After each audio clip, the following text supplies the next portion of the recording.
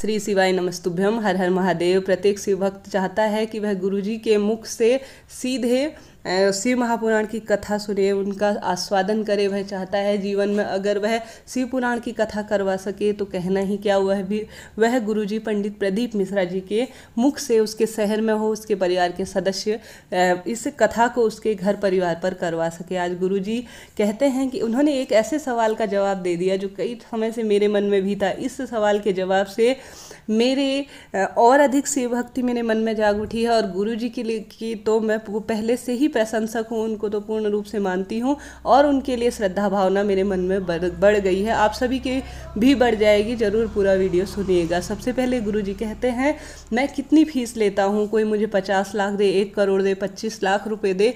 मुझे यह किसी भी तरह से कुछ भी नहीं चाहिए। मुझे तो अपने जो शिव भक्त हैं, उनसे एकमात्र वहाँ पर से बेलपत्री उठाते हुए गुरु जी कहते हैं, मुझे तो सिर्फ़ यह बेलपत्री चाहिए और मैं यह शिव भक्ति लेता हूँ, बस इसके अलावा मैं कोई फ़ीस नहीं लेता। इसके साथ ही गुरु जी कहते हैं, मुझे सिर्फ़ इतना चाहिए कि मुझे जो सुनने वाले, अर्थात शिव पुराण को सुनने वाले लोग आए, उनकी उचित रूप से व्यवस्था हो जाए, माइक सिस्टम, साउंड सिस्टम इत्यादि की पूर्ण रूप से व्यवस्था हो जाए और यहाँ पर आने वाले जो भक्त हैं, उनका पूर्ण रूप से ध्यान रखा जाए। कुछ मेरे साथ लोग जो प्रबंधक समिति में हैं, उनका पूर्ण रूप से ध्यान रखा जाए। बस मैं यही लेता हूँ और मैं सिर्फ़ शिव भक्ति लेता हूँ और यह बेलपत्री लेता हूँ। गुरु जी के यह विचार मन को छू गए।